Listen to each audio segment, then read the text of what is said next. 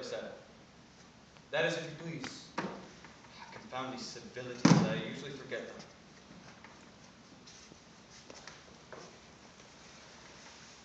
That'd be enough. Go off to bed. Uh, Miss Fairfax, kindly cover young mademoiselle here with a respectable nightgown. Oh, but I do not like the respectable nightgown. Besides, Cher Monsieur, Mademoiselle took me to bed. Do as you told, monkey. Well, come. May I thus embrace you? You are leaving No, you may not. Be off.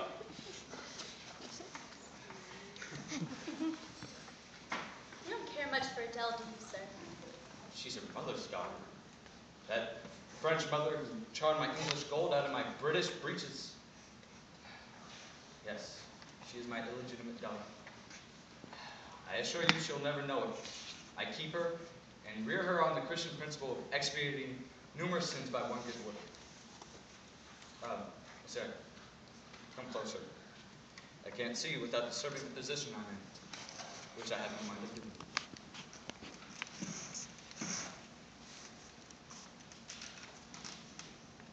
You examine me, Miss Eyre. You find me attractive?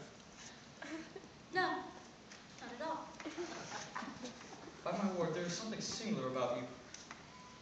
Sorry, I was too plain. I should have replied that beauty is of little consequence or something of the sort. You should have said nothing of the kind. Beauty of little consequence indeed. Go on. What faults do you find with me? I suppose I have my limbs and features like any other man. Yes, you do, but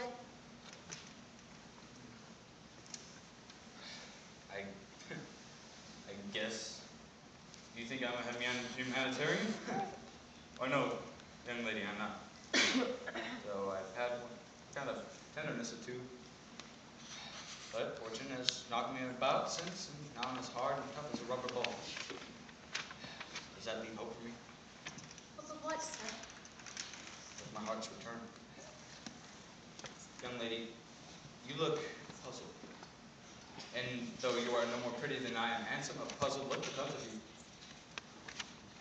Young lady, I'm disposed to be gregarious tonight. I shall have little evenings as comfortable as this one. I just wish you had the decency to divert my thoughts a little bit.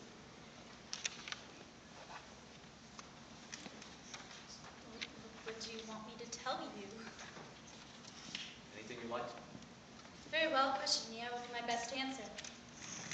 Off, do you agree that I have the right to be a bit masterful, for I am older than you? I don't agree that you have the right only you are older.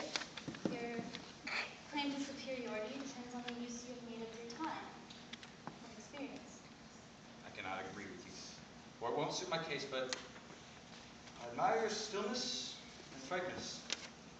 No girl your age would have replied to me as you have done. I admire your clear conscience. Your unpolluted memory. A memory like that would be an exquisite treasure. How was your memory when you were 18? Oh, I was quite your equal at 18. Oh, yes, quite your equal. But misfortune has knocked me about since. I have the right to seek pleasure, and I will get it. It will degenerate still more. It's possible. Yet, if I can get pleasure, and it will be sweet and fresh as a honey gathered by the bees on the moors. It'll have a bitter taste,